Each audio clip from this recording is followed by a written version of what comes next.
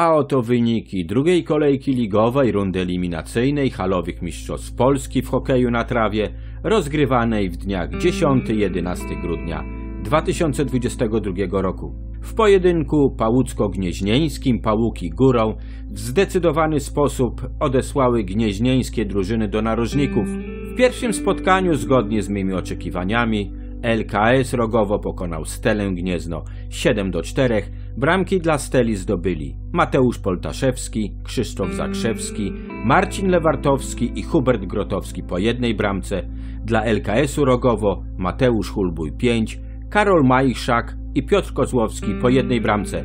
Zachowując więcej opanowania i wykonując założenia przedmeczowe, LKS Gąsawa pokonała Start 1954 Gniezno 8 do 4. Bramki dla startu zdobyli Błażej Zieliński, Dominik Małecki po jednej bramce, Maciej Wejerowski dwie bramki.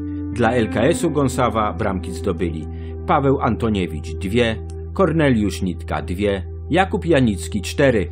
W derbach Poznania próbujący nadrobić straty punktowe zespół AZS-u Politechnik Poznańskiej wygrał z AZS-em AWF-em Poznań 5 do 3. Dla akademików bramki zdobyli Patryk Pawlak dwie, Mateusz Nowakowski jedną. Dla Politechniki Mateusz Obst i Mateusz Stotko po jednej bramce, Robert Pawlak trzy bramki.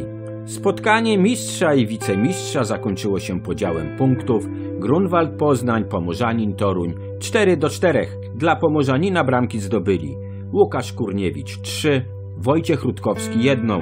Dla Grunwaldu Poznań Szymon Hutek dwie bramki. Damian Jarzębowski i Mikołaj Głowacki po jednej bramce. Następna już ostatnia rozgrywana w tym roku kolejka ligowa, trzecia, awizowana jest na dzień 17 grudnia 2022 roku.